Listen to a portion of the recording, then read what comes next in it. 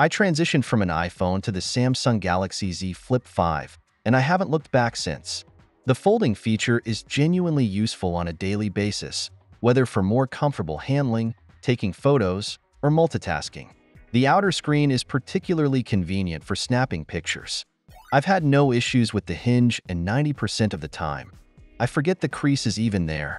I dislike how large most phones are, but small phones are often difficult to use. The Galaxy Z Flip 5 strikes a perfect balance, being compact yet offering a generously sized screen. As for durability, I haven't experienced any problems. However, I must note that I am quite careful with my devices.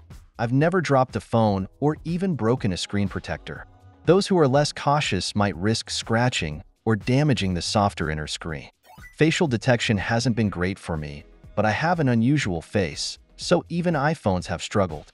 On the other hand, the fingerprint reader is reliable, with misreads being rare. I do wish I could register more fingerprints, as the unique form factor means I often use different fingers to unlock it.